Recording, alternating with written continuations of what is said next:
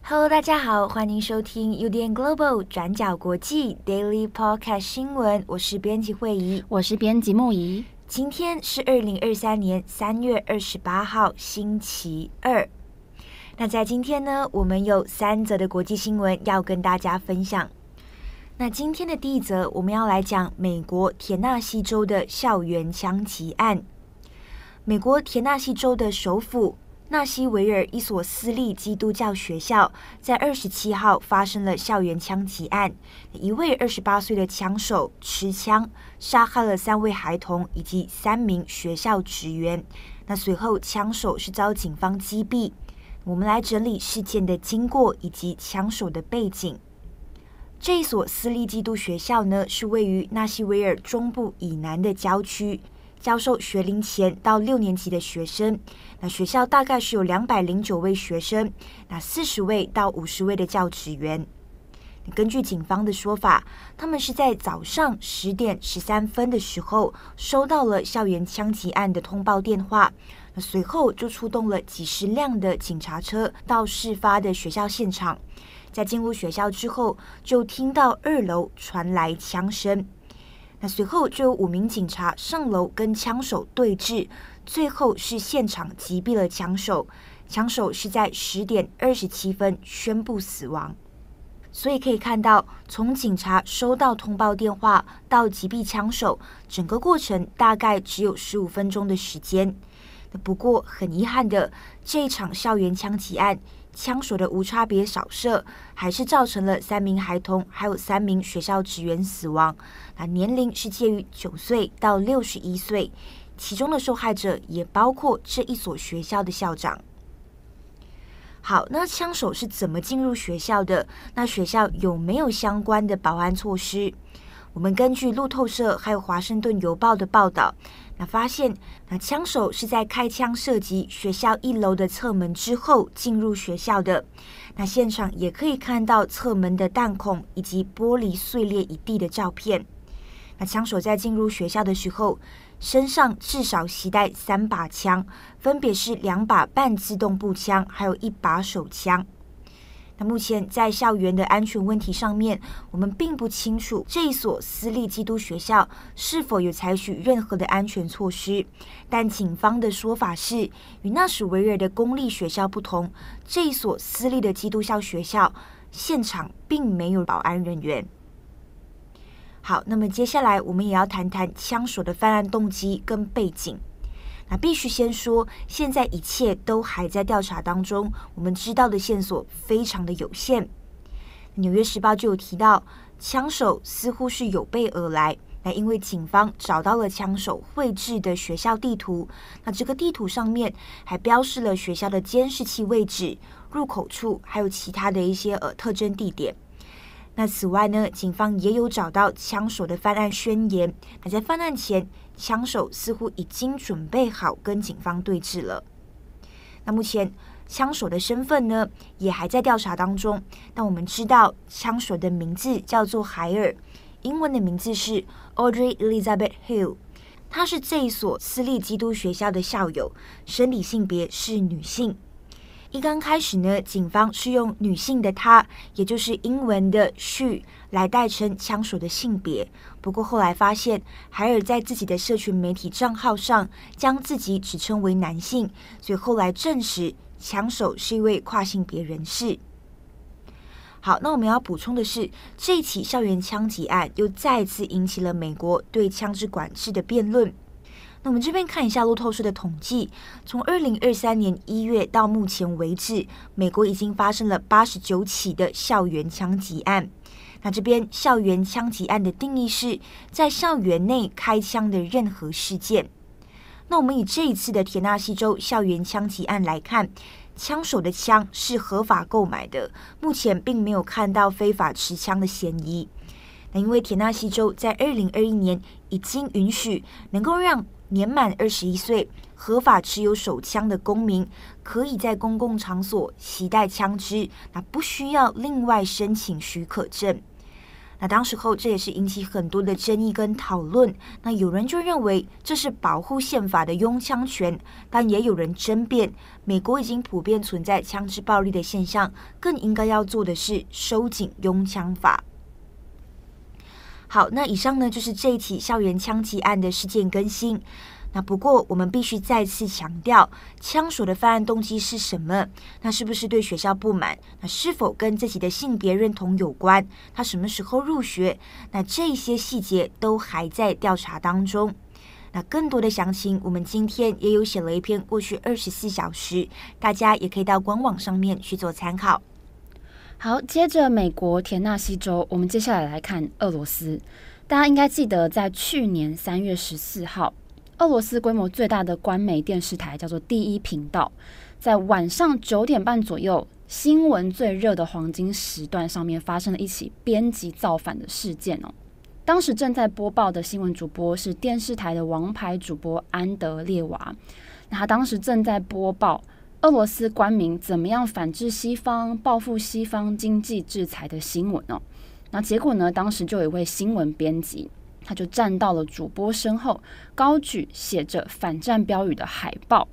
那海报上面写着：“停止这场战争，不要相信你看到的新闻宣传，俄罗斯官媒正在对你们睁眼说谎。”然后接着在六秒钟之后呢，新闻的直播画面就很快被切换到俄罗斯民众被西方制裁的新闻画面哦。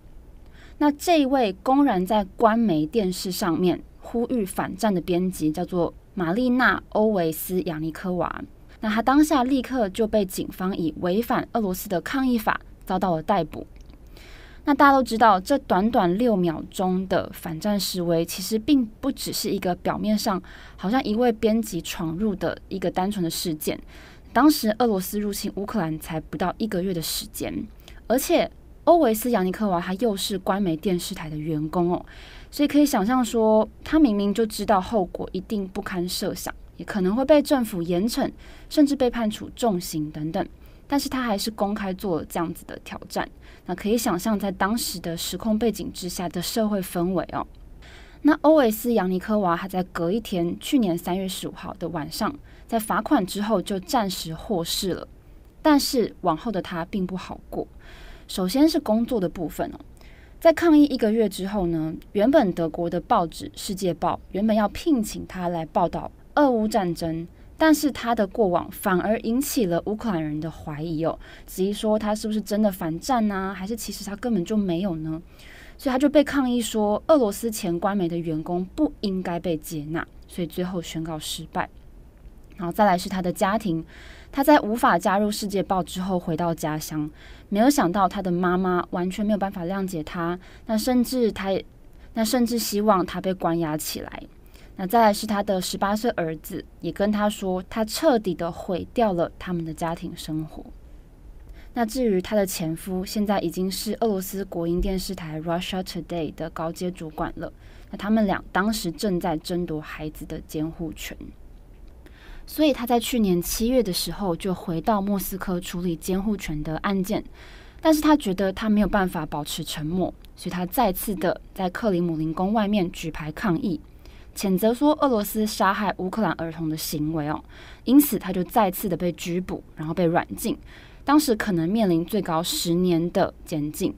但是到了去年的十月四号，他的前夫就通报说他已经失踪，然后下落不明。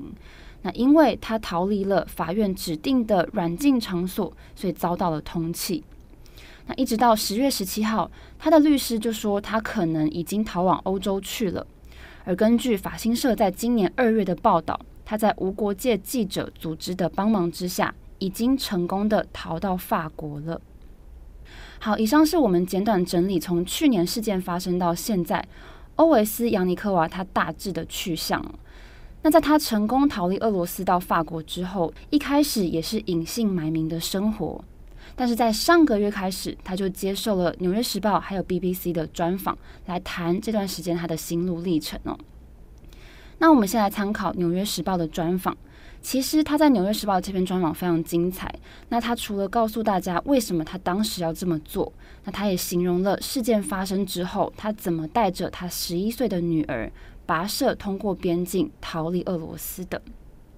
好，欧维斯·扬尼科娃，他今年是四十四岁。他说他在第一频道工作了快二十年的时间。那他说他当了快要二十年的国家机器哦，来宣传克里姆林宫的思想。但是他其实很清楚，他们正在盲目的创造一个平行时空哦。那他也知道说，在俄罗斯开打之后，大家从此应该会很难再获得原有的平静生活。他在这篇专访里面就回忆了他的童年。他说他在乌克兰出生，然后在车臣长大。那他的爸爸是乌克兰人，然后在他很小的时候就过世了。那他的妈妈则是一名俄罗斯人，是一名化工工程师哦。但是他在一九九零年代中期的时候，那时候发生了车臣战争之后，他不得不逃离从小长大的地方，搬到俄罗斯南部的郊区。那接着呢，他就在新闻系毕业之后，在二零零二年加入了第一频道。那他说他的工作内容其实就很简单，就是要密切的关注西方的广播节目、新闻节目，来仔细挑选哪一些可以来凸显西方未来会很糟糕的新闻的内容，然后在第一频道来播出。那他也说，身为俄罗斯人，必须要有一个概念，就是所有美国人都是支持 LGBT 的人士。然后美国人他们会杀害黑人，然后还说会虐待从俄罗斯领养的小孩哦，就是说，他说身为俄罗斯人必须都要有这样子的一些概念。那他也回忆他在第一频道工作的这个时间，那他也曾经在一段抗议之后发布的一个影片里面说，他觉得在第一频道工作这么久，他感到非常的羞愧。但是他也说，在一个几乎没有独立媒体存在的俄罗斯。记者他没有其他的选择，而且这份工作拥有很不错的薪水，可以支撑他独自抚养两个孩子的生活。那他也说，在俄罗斯入侵乌克兰之后，不管是在媒体或是其他国家宣传机构的内部，他们都对于这些平民的伤亡置之不理，然后还大力的把这场战争形容是在对抗新纳粹分子。那可是他说，他看到西方媒体的片段里面都不断的在播送这些村庄被夷为平地的画面，还有播送这些乌克兰难民的处境哦。他说，这让他回想到了他在车臣长大的童年。那这个时候也是他改变的转折点。那他也形容说，他决定在电视台上提出异议之后，他遭到了什么样的对待？他说他遭到了拘留、审讯，那他被罚款，然后被软禁。但是他深深相信自己没有犯下任何的罪行，所以他就开始策划自己的逃亡计划。他说他切断了所有的电子监控器，然后带着他的女儿换了六次的车，然后再用徒步的方式偷偷的潜入充满带刺铁丝网的边境围栏。那他也形容说，他在晚上跟着女儿拿着手电筒逃到了一座森林里面。然后在黑暗中踩着泥泞的泥土地度过了逃亡的过程。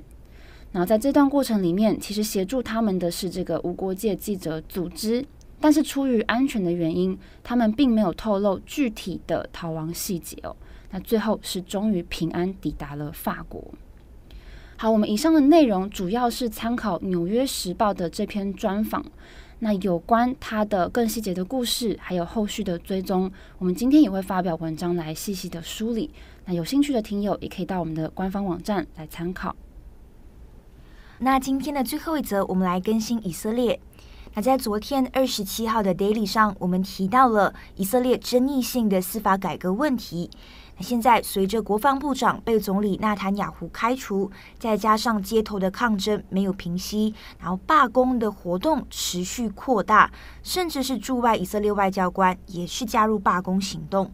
所以呢，以色列的总理纳坦雅胡也就在二十七号的时候宣布暂缓司法改革的立法程序，也就是暂停司法改革的二读还有三读程序。那预计呢，这个司法改革的法案它的审议会延到下一次的国会，那预计是在四月下旬进行。现在虽然司法改革的法案是暂缓了，但是示威者也有呼吁，直到纳坦雅胡宣布停止司法改革之前，抗争不能停止。好的，那么以上呢就是今天的三则新闻更新。嗯下周也就要就是清明连假了。嗯，连假前的编辑台都会特别特别的忙，不知道大家的工作性质在连假前是不是也是跟我们一样？我觉得应该有诶、感觉很多朋友他们现在也都紧锣密鼓在工作中。因为要准备一下，就是或者是廉价的一些工作，需要提前先安排好，或者是先处理好。对，有很多朋友现在可能，例如说合作对象啊，他们现在就是。就是我听我朋友讲说，好像在年假前就有特别多的事情，就是很多问题都会在这个时候突然出现。因为可能也很尴尬吧。假设说你今天有些活动要在四月中还是四月底进行，对，但中间就会卡一个。一个礼拜的时间。对对对，因为像是以转角的工作形态来看的话，通常每一个连假之前，我们都需要安排更多的备稿。对，对，跟廉价之后的话，我们要准备哪一些题目？嗯，那现在的稿件是不是够用啊？然后我们重磅是不是需要提前准备啊？其实我心里最担心的不是这件事、欸，诶是什么？我担心的是在廉价中间发生了什么事情。哦，对，那那没办法，因为如果廉价中间发生什么事情，势必就是要工作。对，所以电脑还是要带着。